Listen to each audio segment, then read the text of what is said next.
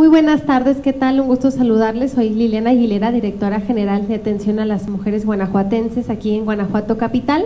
El día de hoy estamos en la charla en vivo de Facebook, la acción que estamos organizando eh, varios compañeros y, compañeras del gabinete del gobierno municipal, cada martes en una conferencia en vivo para abordar los temas que creemos que son de interés social.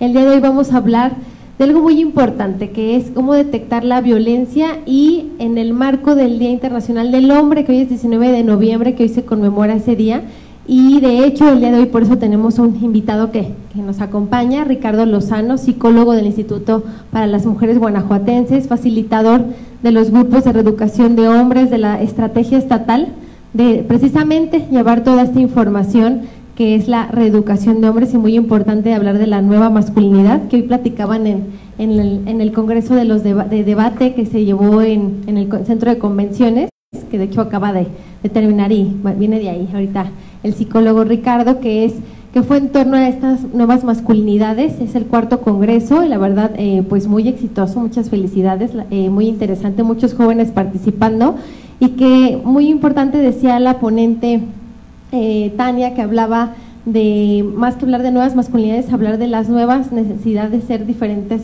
formas, hombre y mujer, para realmente desarrollarnos como sociedad. Y pues bueno, hay que aprovechar mucho a Ricardo, tenemos aquí un psicólogo experto en el tema, lo estamos haciendo aquí en el Corral del Arte, recordándoles que todos los martes tenemos este grupo para los hombres de 5 a 6 y media de la tarde para que el día de hoy ustedes escuchen de qué se trata este tema, inviten a sus esposos, a sus hijos, a sus hermanos, a sus tíos. Está abierto para todos los hombres de Guanajuato Capital y pues que no lo dejen de aprovechar. Y también ustedes mismos hombres digan yo, a mí me interesa y quiero acudir. A mí me gustaría que Ricardo nos explique, nos comparta eh, de, qué, de qué se trata para empezar el Día Internacional del Hombre, eh, qué es lo que nos quiere hacer recordar y sobre todo muy importante de qué tratan estas nuevas masculinidades. Muchas gracias por la invitación. Este, bueno, más que, más que el poder hablar de del por qué se conmemora o, este el, tema de, tener como un día este, en especial ¿no? para el hombre, lo que, lo que se pretende es poder promover como un poquito más la reflexión, ¿sí? Más que eh, luego seguimos con el debate de si se festeja, se, se conmemora, este, la intención del de, instituto, o digo, en conjunto con, otras instancias como, la dirección este, de atención a la mujer, eh, en apoyo con Secretaría de Salud, luego con, los programas, lo que, lo que pretendemos es pues mm, promover una, actividad desde, desde que, que, nazca desde el hombre, ¿no? que busque pues generar como una, una autocrítica, una cuestión de, de, reflexión del cómo llevo mis relaciones eh, primero con, conmigo mismo sobre la masculinidad y al mismo tiempo con, con, todas las personas que están a nuestro alrededor, ¿no?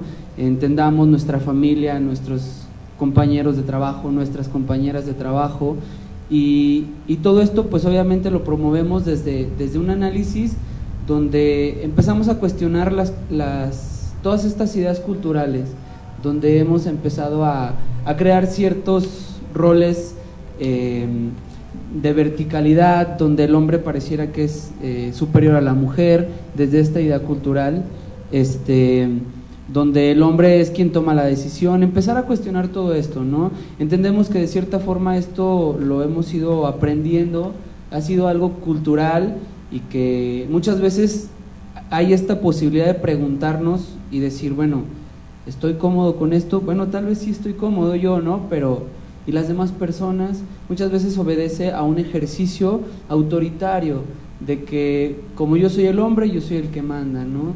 Como yo soy el, el digamos, soy el proveedor, yo digo cómo se gasta el dinero, ¿no? Administro en una forma autoritaria. Entonces, todos estos programas, todas estas este, intervenciones que tenemos como instituto y en conjunto, lo que buscan es empezar a generar como un ruido en el hombre para que a partir de esto empecemos a darnos cuenta de que los privilegios, bueno, pues son algo que nos mantiene como en cierto estado de superioridad y que para esto pues promovemos la reflexión, ¿no?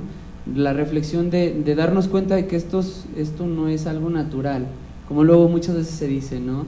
El, el, hombre es violento por naturaleza o el hombre superior tiene más fuerza. Este, la intención de esto es poder empezar a cuestionar esto y que si al final de cuentas tenemos ciertas diferencias, que no sean diferencias que, que resten, que resten a la dinámica familiar, a la dinámica de pareja, a la dinámica con otros hombres, sino que nos ayuden a sumar para pues que el, objetivo principal, ¿no? Que es encontrar la igualdad entre hombres y mujeres.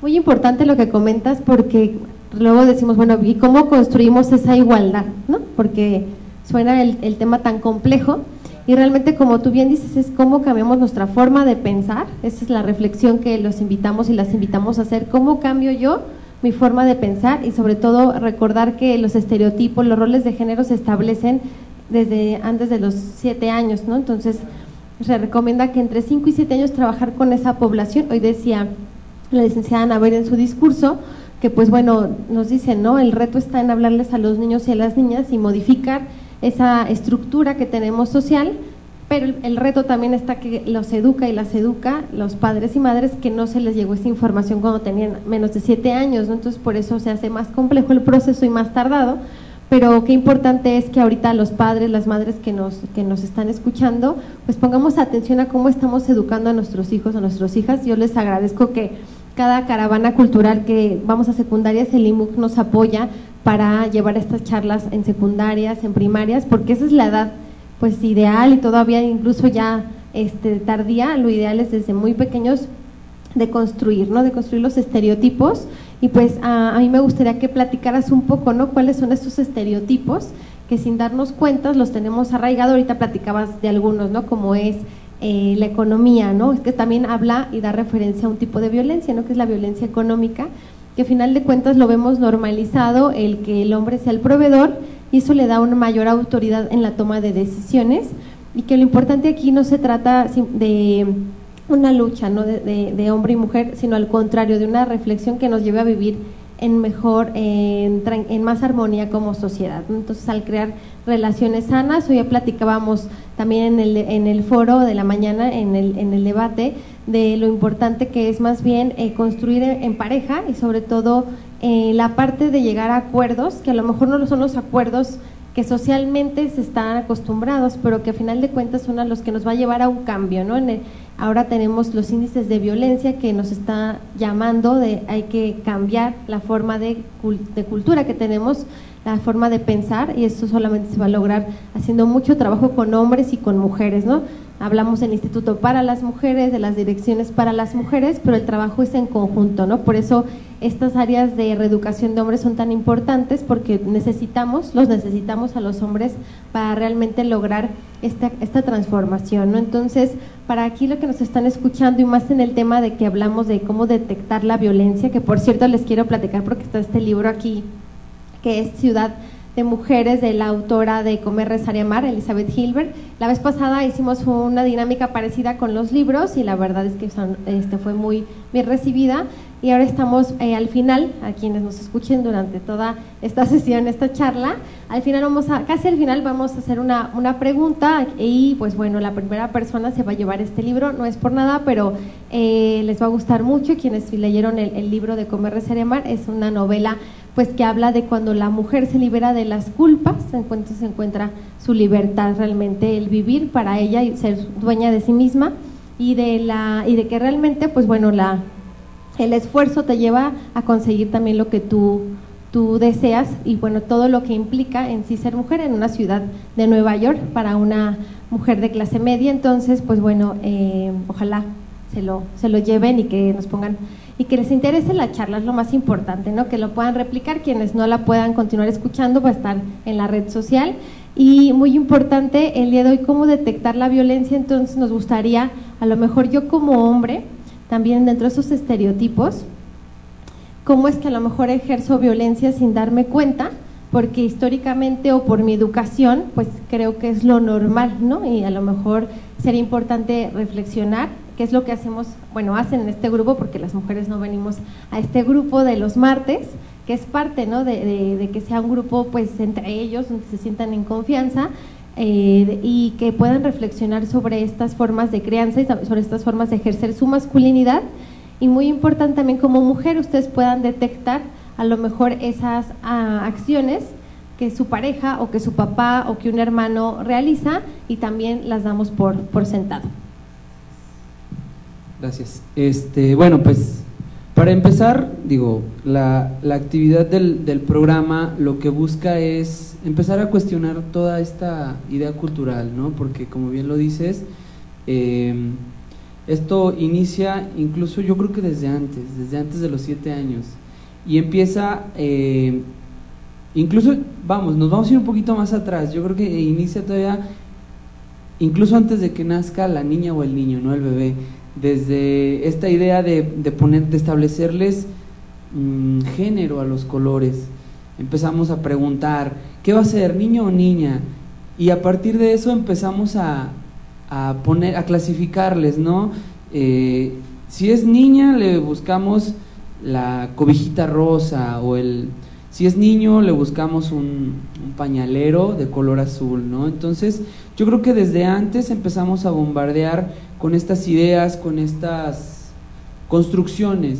Y lo digo construcciones porque es algo que, muchas veces creemos que ya está establecido, pero que si nos ponemos a reflexionar, eh, podemos empezar a, a, deconstruirlas, ¿no? Empezar a quitar estas ideas que muchas veces eh, lo, que, lo que hacen es generar cierta... excluyen, excluyen yo creo que a, a quien no está como dentro del área, del rango, empieza a ver como exclusión, ¿no? Decíamos en alguna ocasión, este, ¿y qué pasa si un niño quiere ah, jugar con un bebé, con un enuco, ¿no? Con algún, eh, con algún bebé de juguete. Eh, muchas veces lo primero que se nos viene a la mente es, ay no, se me va a hacer homosexual, o no, eso es de niñas.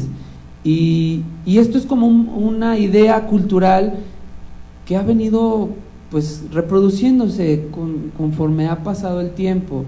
Y digo cultural porque es más fácil que se nos venga a la mente esa idea a que se nos venga a la mente el decir, bueno, va a ser bueno para la crianza, ¿no? O tal vez sea un buen padre, o, es sensible, es un niño sensible. Eh, pero muchas veces hacia donde nos vamos es como a la idea que hemos, eh, hemos ido arrastrando de lo que tiene que ser o hacer un hombre, ¿no? Hablando de los roles o los estereotipos, muchos de los roles que, que, se empiezan a establecer son desde muy pequeños, desde que el niño se va a trabajar, desde que le empezamos a decir, oye, este, pues prepárate porque tú vas a ser el hombre de la casa, sea lo que signifique eso, ¿no? Muchas veces eh, recuerdo en alguna ocasión que una persona, un participante de los grupos decía, pues yo a los seis años me tuve que hacer el hombre de la casa porque así me lo dijeron, pero yo no sabía que era ser el hombre de la casa.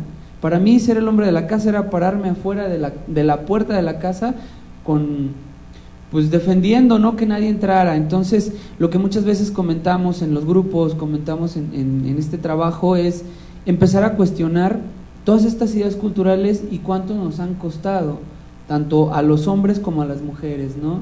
Decíamos, eh, los costos de la masculinidad, ese es uno de los temas que se, se, tratan mucho.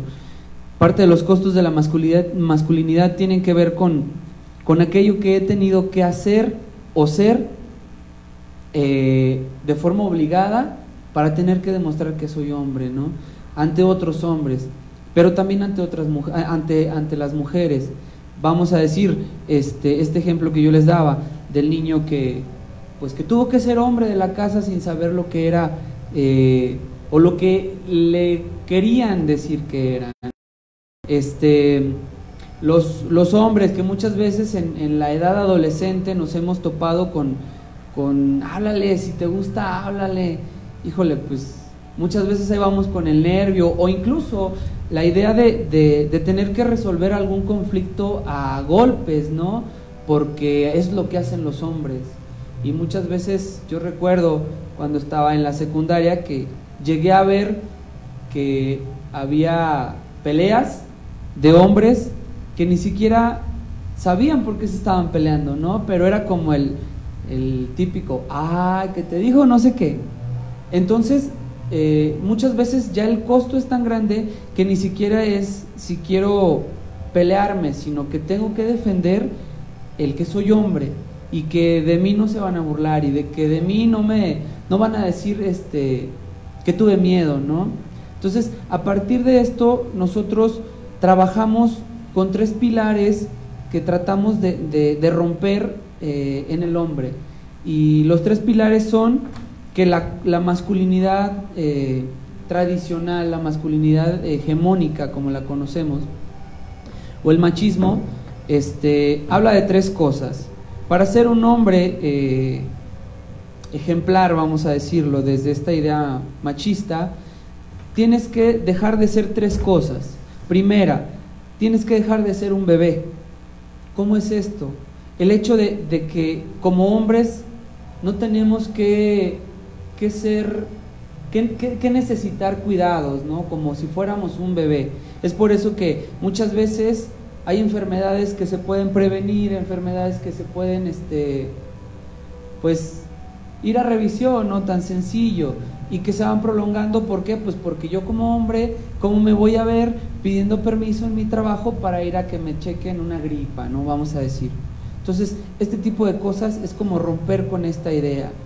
Es, es difícil para un hombre que tiene una masculinidad tradicional poder decir, ¿sabes qué? Eh, pues tengo miedo, me gustaría, me, me sentiría más cómodo, más seguro, este, de ir caminando por la calle con otros hombres o con otras personas. Muchas veces es un costo tan grande que no, no soy capaz de decirlo.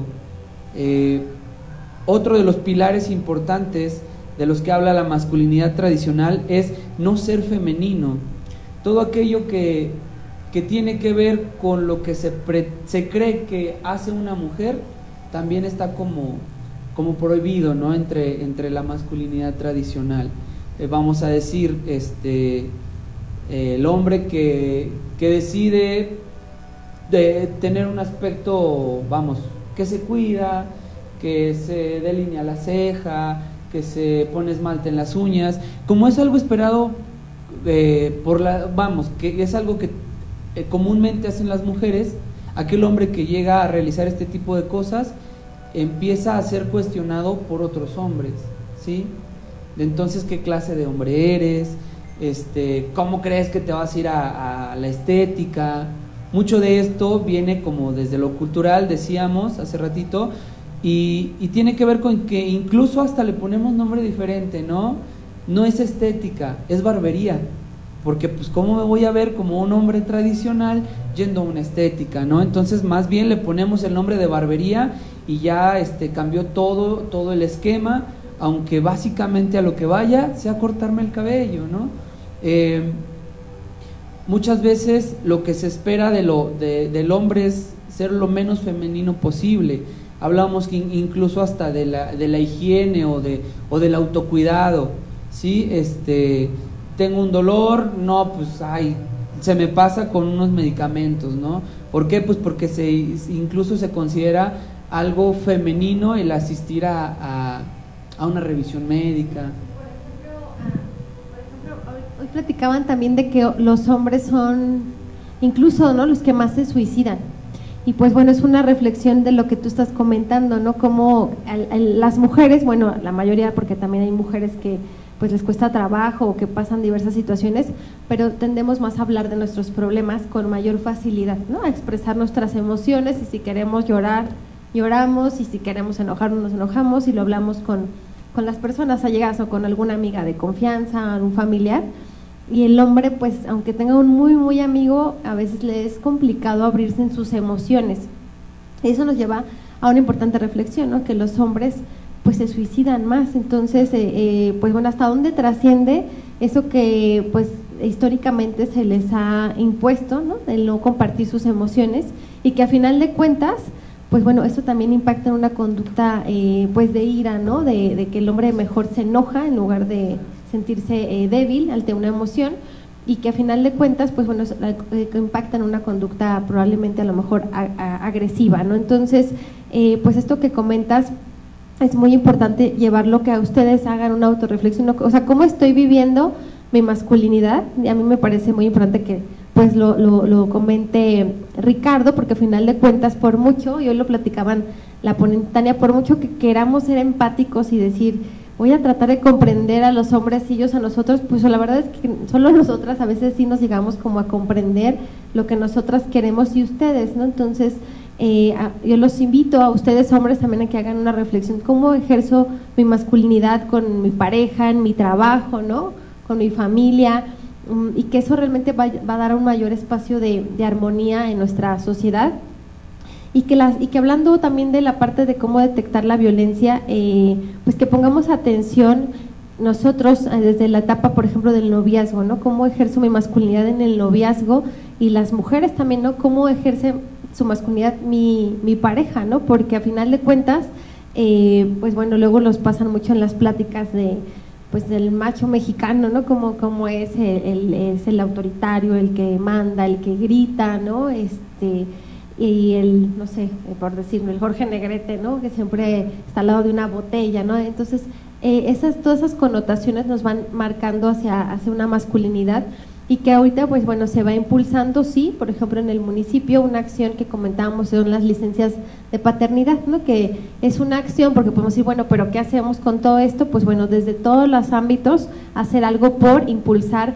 porque queremos que los hombres participen más en la crianza pero la ley en México les dice que vayan cinco días a ejercer su paternidad y quienes somos madres y padres sabemos que cinco días no es nada y que todavía dices de veras ya te vas a ir a trabajar no porque pues eh, sobre todo que ahora las parejas se viven distinto, ¿no? Ya es realmente más la del hombre y la, y la, y la mujer, ya no es tanto, eh, pues que a veces tenían mucho apoyo, ¿no? Como que las abuelas, las comadres, hace unos años, y ya las familias se van asumiendo como que en su rol un poco más privado, entonces sí hace falta todavía aún más que el hombre participe, pero bueno, en el municipio se dan 15 días de paternidad, claro que todavía el reto es grande, pero bueno, se está haciendo algo por avanzar. Y pues bueno, hay que compararnos con, con, los grandes. Hablábamos, por ejemplo, de que en Islandia son 90 días, para, que ellos incluso en los países nórdicos le llaman licencias parentales, porque ni siquiera le dicen como que del papá, ¿no? Sino, a ver, ustedes tienen 180 días y pónganse de acuerdo, ¿no? Porque bueno, hay casos donde a lo mejor ella es directora de una, una firma donde tiene que viajar y demás, y a lo mejor él es dueño de su negocio y pues a lo mejor ella, se va a acomodar en que él tome más días y la, ella menos, entonces, pero su lógica de ellos es distinta, ¿no? Aquí, aquí lo veríamos hasta de ¡Ah! qué mala madre, ¿no? Entonces, son muchas cuestiones eh, culturales, pero a final de cuentas estas acciones son las que nos van a ir a hacer el cambio, ¿no? El que la ley diga, oye, tienes por ley que irte un mes a tu casa, a tu casa, ¿eh? no a otro lado, porque luego dicen que las licencias de paternidad en México no se ejercen eh, tal cual, o a veces no las toman, porque por ejemplo hay empresas que no, este, también comentan, no es que las damos, pero no las quieren tomar, entonces eso nos lleva todavía a hacer pues el análisis de que queda mucho por hacer y por cambiar, de la importancia no de ir a ayudar como se piensa, no ayudar a tu pareja, sino de ejercer tu paternidad.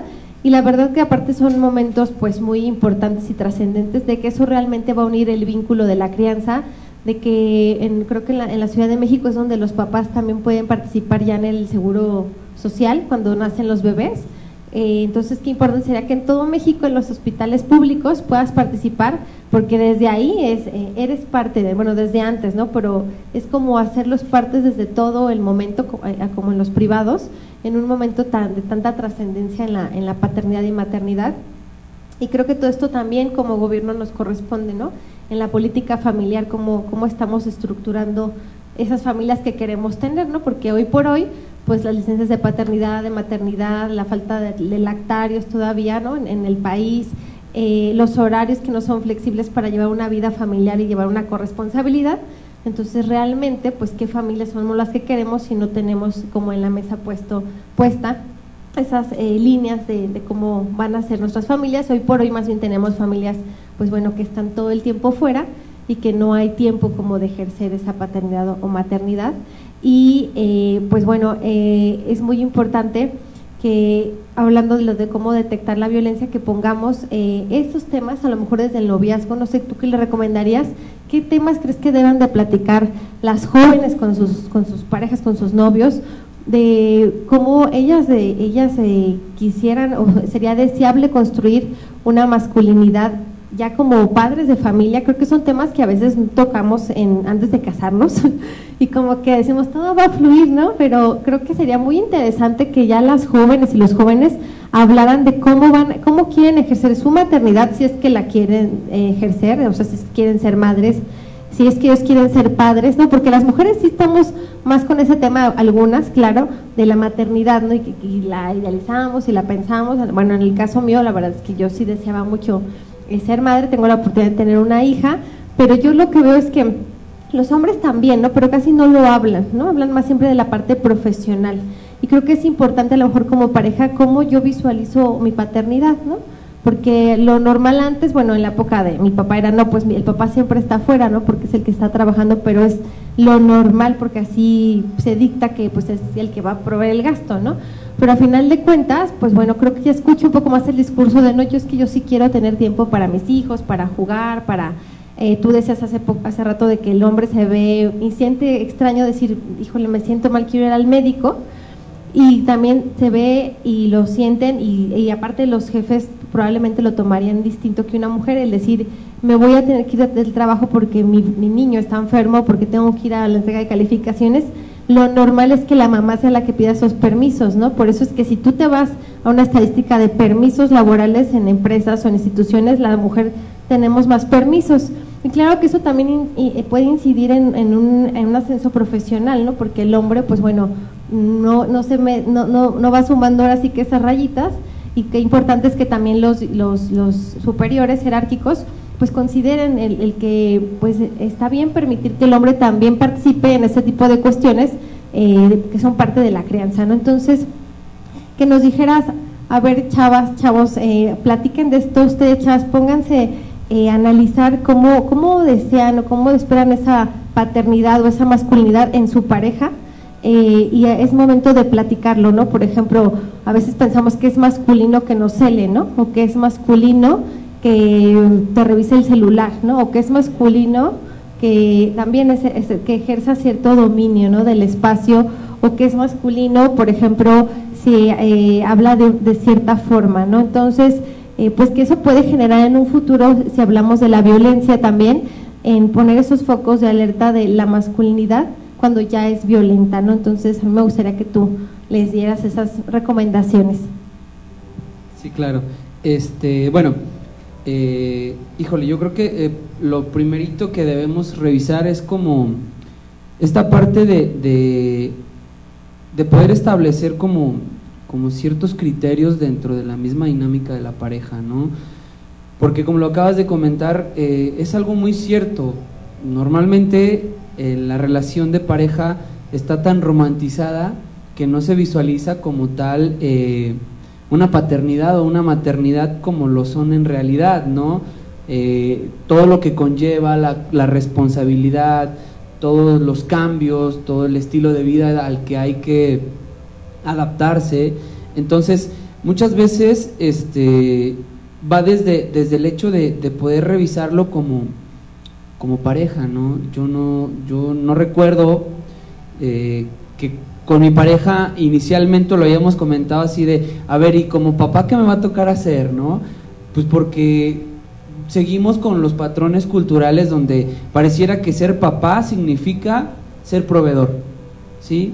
Fíjense, algo interesante que, que podemos analizar en este tema es que muchas de las actividades que, que que tiene que realizar el hombre están como enfocadas, si es positiva está enfocada en, ser proveedor, ¿no? Ser un buen padre es alguien que eh, provee suficiente para la familia, ¿sí? Ser un buen hijo es aquel que provee también tanto para su familia eh, nuclear como para su familia extensa, ¿no? Entonces muchas veces se tiene esta idea, eh, cosas a identificar dentro de las dinámicas de pareja, híjole, Mm, voy a utilizar elementos importantes de nuestro programa eh, y uno de estos es uno, una, un concepto que nosotros conocemos como servicios. ¿sí? y un poquito la definición dice, eh, uso los recursos de mi pareja eh, en mi beneficio. ¿Sí? ¿Cómo es esto? Muchas veces en las dinámicas de pareja, yo como hombre empiezo a visualizar o empiezo a, a solicitar servicios de mi pareja sin importarme lo que ella está haciendo, ¿no? Se me ocurre, en una ocasión escuchábamos a una persona que decía, no, pues es que mi esposa primero tiene que dejarme la ropa planchada para poder irse. Y bueno, le decíamos, ok, y el día que no esté planchada, ¿qué va a pasar? ¿Te la vas a llevar arrugada o te vas a poner a plancharla? Y decía, no, pues primero voy a ver por qué no me la planchó, ¿no? O sea, buscando como de nuevo la, la, la responsabilidad y decir por qué no lo hiciste para mí. ¿Sí? Entonces mucho de esto empieza desde el, desde el noviazgo. Te dije que me hablaras, eh, mándame tu ubicación, digo ahora con, las, con los teléfonos inteligentes. Eh, digo, típico que, digo, yo creo que ya lo hemos, ya se ha analizado en muchas ocasiones y, y en muchos, muchas áreas, la celotipia, ¿no? Te cela porque te quiere, ¿ok? Y entonces al rato te va a exigir también porque te quiere. Eh, hay que cuestionarnos eso, ¿no? yo como hombre, ¿qué estoy obteniendo al pedirle la ubicación? Pues tal vez estoy obteniendo un control, ¿sí? Con quién estás, a qué hora, eh, a qué hora sales, con quién hablas.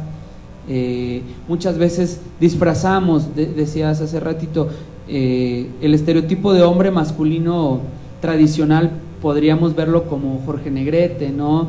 Pero ahora tenemos discursos más sutiles como por ejemplo disfrazar de, un interés este, estos ejercicios de control. Se me ocurre, eh, hay ocasiones en las que, ay, voy por ti a la escuela eh, para ver a qué hora sales, ¿no? Y la realidad es que estoy yendo para ver con quién sales, con quién hablas, de quién te despides, ¿sí? Son formas de, de control que eso me lleva a otro, otro punto importante, es solicitar los servicios de mi pareja para mi beneficio. Y el otro es el control y el dominio de qué forma controlo y de qué forma domino eh, dentro de la dinámica. ¿Qué es lo que pasa? Muchas veces la forma de control y dominio es tan sutil que va desde un... Eh, ¿Dónde estás? Solo quiero saber dónde estás o a qué horas llegas, ¿no? Y la realidad es que lo que estoy pretendiendo es saber qué haces, con quién estás. Otras formas son más sutiles. Ok, está bien, si te quieres ir con tu mamá a comer, adelante Nada más que antes de que te vayas ya me dejas los niños bañados y me dejas este la comida hecha. O en el noviazgo, ¿no? De, bueno, está bien, si quieres ir con tus amigas a, no sé, al centro, al cine, va, pero me, dices con quién y quién vas, ¿no? O, cuéntame, me mandas foto, me mandas la ubicación, ¿sí? Eh, son formas de control un poco más sutiles, que al final de cuentas vienen a ser los mismos ejercicios de control, pero con nuevos discursos, ¿no? Con discursos más sutiles, con discursos incluso muchas veces hasta aceptados. Decíamos ah, ahorita como eh, el ejercicio de la caballerosidad, no es otra cosa más que continuar con una, una posición de, superioridad. Eh, ¿Quién es el que tiene el poder económico? El hombre, entonces yo pago, ¿no? ¿Qué es lo que pasa cuando yo como hombre me siento incómodo porque mi pareja diga, vamos a pagar por, por partes iguales? O yo pago esta vez, ¿no? Yo sé que tú traes deudas, yo pago. Y empieza como la sensación de, híjole, ¿y si mis amigos me vieran? ¿Qué pasaría? ¿Me sentiría incómodo? Ay, no, no, no. Pues mejor te llevo a otro lugar donde salga más barato, ¿no? Para poder pagar yo y no, y no cuestionar mi, mi masculinidad nuevamente, ¿no? Entonces, todas estas, todas estas cosas atienden a, ciertos ejercicios, pero con nuevos discursos. Y que lo, que sigue eh, estableciéndose, pues son como el miedo a renunciar a estos privilegios, donde si yo soy el que paga, yo soy el que digo que comemos. ¿sí? Si yo soy el que trae el coche, yo digo a dónde vamos. ¿sí?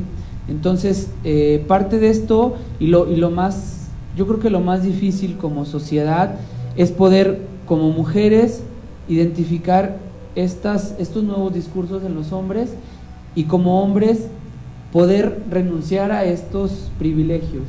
¿sí? Luego decimos, los privilegios se asumen, pero muchas veces culturalmente nos lo dicen. culturalmente estamos, yo escuchaba alguna vez la, frase, eh, si un hombre se, se ve eh, tomado, se ve mal, una mujer se ve peor. O sea, volvemos como a, a darle cierto privilegio al hombre, ¿no? O sea, los hombres son borrachos, entonces, pues no importa, ¿no? Que tú tomes. Pero si una mujer se ve mal, como culturalmente se espera que, se, que, que sea bonita, que sea atractiva, eh, entonces se ve más mal. ¿sí? Entonces, muchas veces estos, estos patrones culturales pues son los que siguen dictando nuestras dinámicas de pareja. Decía hace poco un, compañero del programa, decía, oye, por ejemplo, y, en alguna ocasión, este, yo le dije a mi, a mi novia, con ese vestido yo no te voy a llevar a la fiesta. Eh, y nos decía, ¿consideras que es violencia? Entonces, bueno, pues abriéndolo como al diálogo, pues vemos como todos los elementos que hay alrededor, ¿no? Desde estar solicitando un servicio, de, de, que tú te vistas como yo te digo. Cierto control, ¿por qué? Pues porque al final de cuentas estoy condicionando si vas o no vas.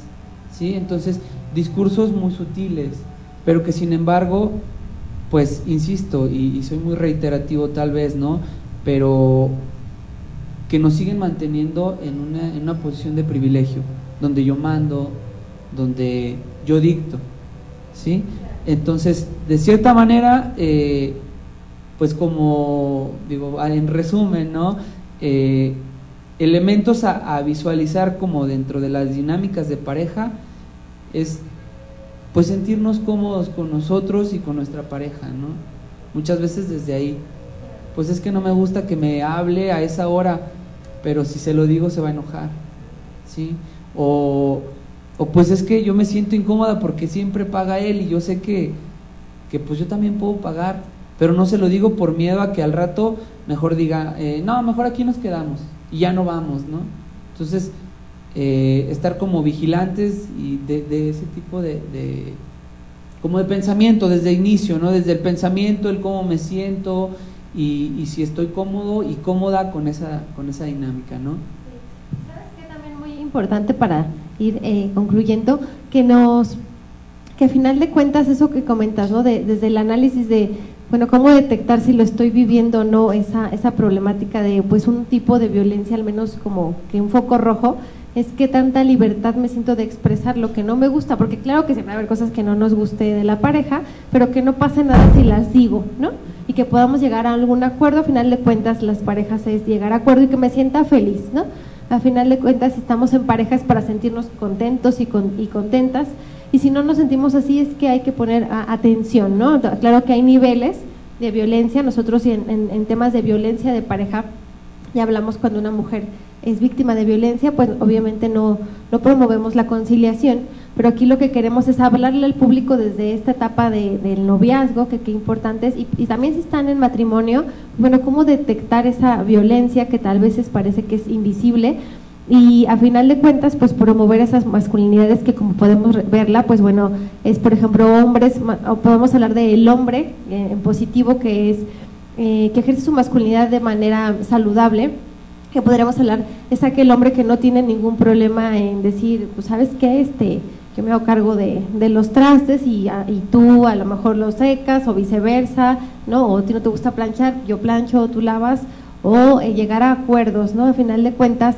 es hacer equipo, tampoco se trata de, pues yo no quiero hacer nada y haces tú todo, hombre, no es llegar a un acuerdo y también a ver la dinámica de cada quien, ¿no? Porque hay dinámicas de trabajo que a lo mejor ella es la que tiene un horario más complejo o viceversa, o a lo mejor hay una persona que les apoya en ciertas cuestiones, pero es como cómo lograr ese equilibrio, porque la mujer, pues por toda la historia ha sido eh, no protagonista del rol a veces eh, económicamente activo, ahorita tenemos digamos el 38% de la población económicamente activo, porque apenas estamos en este entrando este rol de que ya hay un trabajo en equipo, pero como hemos visto la, fotografía, ¿no? De que el hombre va corriendo hacia sus metas profesionales libre y, sin parar, y la mujer tiene que ir a la lavadora, a los niños, ¿no? A las, a las escuelas, las tareas, la plancha, la cocina, la comida, eh, pues en sí es como que antes se le cargaba todo, ¿no? Pero entre más se distribuye equitativamente esas tareas del hogar,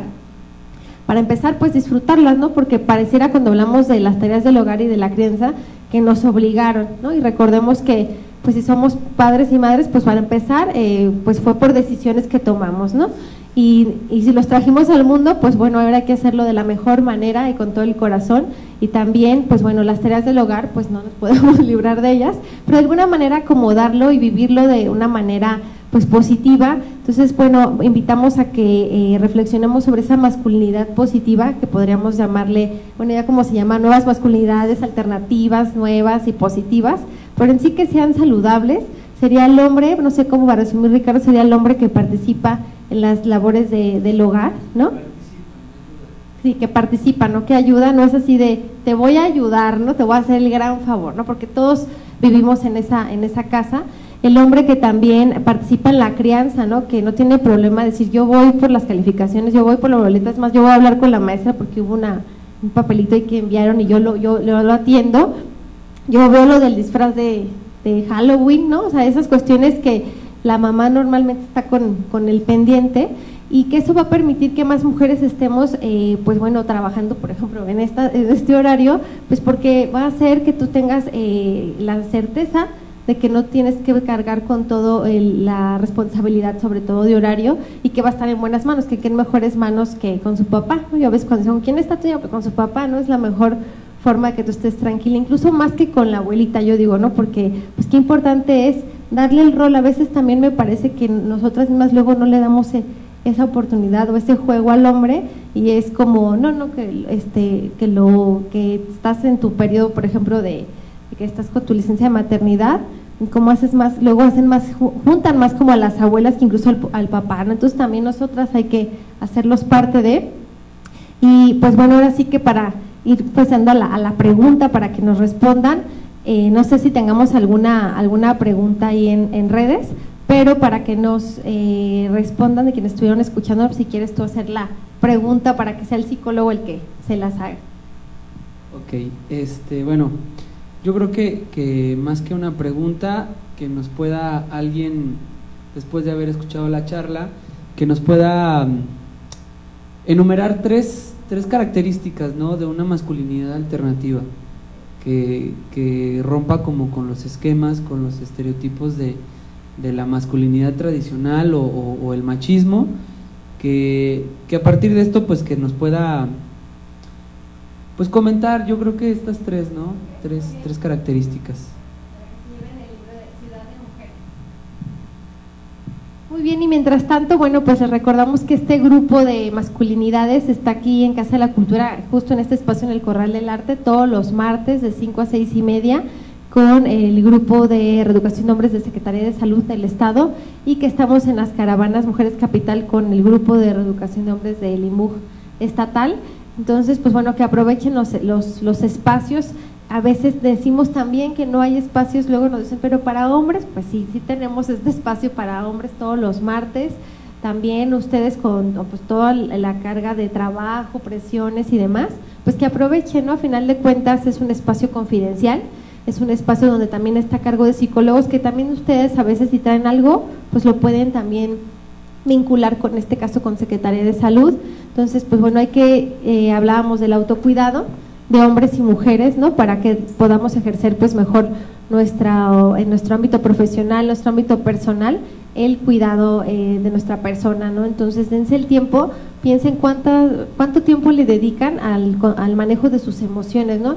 A final de cuentas, bueno, que tú eres el experto psicólogo, pero somos un manojo de emociones los seres humanos, ¿no? Entonces, ¿cuánto tiempo le dedico a equilibrar mis emociones, ya sea que eh, medite, que vaya a terapia, que vaya a grupos de reflexión, que lea, eh, este, sí, que las hable con alguien, que lea eh, información que me ayude, que vea conferencias, ya no hay pretexto de que no hay tiempo, ¿no? Todos las, los medios digitales también nos permiten tener acceso a mucha información como ahorita, por ejemplo, si no la pudieron ver, bueno, que la puedan ver y compartir, que nos ayuden a compartir para que más gente venga a este grupo de hombres. Recuerden que no es, no es para un tipo de hombres, es para hombres en general de Guanajuato Capital, que aprovechen el grupo y entre más jóvenes, creo que es para partir de los 15 años, pues eh, es mejor, digo, porque a veces me decían, no, pues ya, ya mi, mi esposo, y decían, no, pues desde, desde los hijos.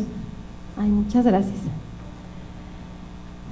Em, decía, ah, muy bien, ya sabemos quién, quién se ganó el libro que dice, bueno, si atienden las emergencias y situaciones escolares de las y los hijos con responsabilidad familiar, no tienen miedo, pena de dar a conocer sus sentimientos y metas familiares y están abiertos a llegar a consensos con la pareja y a escucharle en vez de imponer su decisión. Y es para Sandy. Muchas gracias, Sandy. Y pues bueno, eh, esperamos ahí en la dirección de la mujer. No sé cómo viste la, la respuesta. Sí, bueno, yo creo que eh, está está como, aborda como muchos, muchos elementos, ¿no? Eh, yo, yo hacía como la pregunta eh, muy específica, pero nos la mandan mucho más extensa, ¿no? Eh, y efectivamente es parte de la, de la masculinidad alternativa. una de las cosas con las que nosotros trabajamos, digo, como, como haciendo referencia a esto que comentabas, es que pues la intención de los grupos es poder cuestionarnos, ¿no? Eh, yo creo que, insisto, el, tema importante de esto es renunciar, porque decíamos, bueno, pues se escucha mucho el, tema de la, del empoderamiento, se escucha mucho este, el, acceso a los derechos de las mujeres, pero si esto continúa eh, en una cultura machista, pues lo único que vamos a encontrar va a ser más choque, ¿no? Entonces, mucho de esto lo que pretende es que como, como hombres podamos empezar a visualizarnos como perfectibles, como que no somos el, el, mejor hombre y que no somos como el modelo a seguir, ¿no? Y no me refiero a que seamos como el malo, sino que nos podamos dar cuenta de que eh, existen muchas conductas, muchas actitudes que están identificadas como formas de violencia y que culturalmente las hemos normalizado tanto que creemos que no hacemos daño, ¿no? Yo, yo digo en lo personal, el trabajo con hombres, el trabajo con grupos, eh, nos ayuda a identificar que existen conductas violentas, más que personas, Digo, porque luego muchas veces es eso, ¿no? El miedo al ser señalado, decir, ahí va el del grupo de los hombres violentos. Más que eso, lo que buscamos es poder reconocer que hay conductas que generan violencia. Y como muchas veces lo decimos nosotros en, los grupos, eh, es poder reconocer que es una decisión. Y así como yo decido cometer violencia, también puedo decidir dejar de cometerla y empezar a encontrar alternativas de, buen trato, ¿no? Para con mi pareja, para con mi familia, con mis compañeras, compañeros de trabajo, y que, y que luego muchas veces decimos, híjole, pues este cambio va, va a ser dentro de 50 años. Bueno, pues hablamos de un sistema ecológico, ¿no? Desde el hecho de que si cambio yo, empieza a cambiar mi entorno. Y no necesariamente tengo que ir a a cambiar, este, no sé, el mundo, Guanajuato, pero si empiezo a cambiar, yo cambio a mi familia, ¿sí? ¿Por qué? Pues digo, muchas veces hasta, digo, eh, voy a compartirles un poquito, en alguna ocasión llegaba una, una pareja de un usuario de nosotros, de los grupos, y llega y nos dice, ay, pues no sé qué le hizo, porque ya, mire, llega y él solo se sirve, él solo levanta, termina de comer, levanta su plato y lo lleva y lo lava. Pues yo no sé qué le hizo. Híjole, pues yo le dije, pues tal vez lo único que le hicimos fue eh, promover un espacio donde él pueda reflexionar, ¿no? Y, como bien lo decías hace, hace un momento, este, a veces creemos que como hombres no tenemos estos lugares, pero pues aquí están. Y que sean, ajá, claro que sí, que, los aprovechen y que se den cuenta que pues son, son bienvenidos. Pues muchas gracias eh, a Ricardo, el Instituto para las Mujeres Guanajuatenses. Eh, muchas felicidades por su evento del día de hoy, la verdad muy exitoso con jóvenes de varias partes del estado, incluso de otros estados de la República, y que este tema llegue, llegue lejos y llegue fuerte para ayudarle a la ONU que habla que hasta el 2133 lograremos esa igualdad tal vez nuestros bisnietos lo, lo vean, pero que sepamos que, bueno, es, desde hoy estamos haciendo para que eso se logre. Para, lo digo porque, bueno, suena a lo mejor desalentador, pero para que veamos qué tanto reto hay, no sé, es la brecha muy grande y que ese machismo, cuando se radique en México, vamos a lograr, dicen, pero ¿cuándo va a mejorar los índices de violencia? Va, de la mano con este tema que es erradicar el machismo tan fuerte en nuestro país. Entonces, trabajemos mamás, papás, eh, por este, por este desestructuración, ¿no? por este gran reto y también a nivel personal, como dice Ricardo, ¿no? que digan yo hoy voy a cambiar y decido ejercer mi masculinidad de una mejor manera, que sea más sana para la gente que, que me rodea, incluso para mis compañeros de trabajo, como bien lo dices, ¿no? Porque no empiezo a ver también porque no participen más mujeres en mi institución, ¿no? Porque también es otra parte que sería interesante luego invitarte a platicar, el rol de la, de la masculinidad en los espacios de trabajo, ¿no? Que hablamos también eh, de, cómo el hombre a veces en su tomador de decisión, a veces en su decisión está también en que muchas mujeres crezcan profesionalmente, ¿no? Entonces, analicemos, ¿no? Si tenemos eh, directivos mujeres, hombres, ¿no? Si tenemos eh, también en instancias empresariales, en consejos coordinadores, en cámaras, asociaciones, hay hombre o mujer titular, también todo eso nos habla de la masculinidad y de la importancia de que pues los hombres, por eso digo que no puede ser nada más de mujeres, si los hombres ahorita están principalmente tomando las decisiones, pues qué importante es que vayamos en conjunto. ¿no? Entonces, pues muchas gracias Ricardo, nuevamente gracias a la licenciada Anabel Pulido por siempre ayudarnos y participar a empujar esta temática tan importante. Y pues bueno, nos esperamos en la Semana Naranja, acuérdense que empieza el 21 de noviembre con la charla de violencia digital que va a impartir la diputada Livia García en la Universidad de Santa Fe a las 5 de la tarde. Y pues bueno, tenemos en la página de la Dirección de la Mujer todas las conferencias del 21 al 28 y muy importante, bueno, que también las vamos a estar transmitiendo por Facebook para quienes no puedan acudir. Lo importante es que reciban la información. Recuerden que estamos en Cantarranas número 5 frente al teatro principal. Damos lo que es terapia psicológica, terapia grupal para mujeres, grupos de hombres también, asesoría jurídica, eh, capacitación para el empleo, capacitación para eh, la autonomía económica. Ahorita tenemos el curso de piñatas aquí en Casa de Cultura para las mujeres, tenemos el curso de repostería en la comunidad de Cañada de Bustos y pues bueno, estamos abiertas y abiertos a, también a que lo que ustedes nos propongan, pues a veces también eh, es importante eh, pues no pensar que vamos sobre la, la, misma línea el 2020, también estamos escuchando también dónde quieren que llevemos alguna caravana, que abramos un grupo de redes de mujeres, entonces pues estamos a sus órdenes y pues que tengan una excelente tarde y reflexionen sobre el Día Internacional del Hombre, que de hecho hoy me decía mi papá, Día Internacional del Hombre, le digo, sí papá. Este, y pues bueno, es un, el 8 de marzo siempre lo, sabemos, ¿no? el Día de la Mujer, pues bueno, también qué importante también es darle esa visibilidad al hombre que es un día también para reflexionar, ¿no? Muchísimas gracias Ricardo, hasta luego.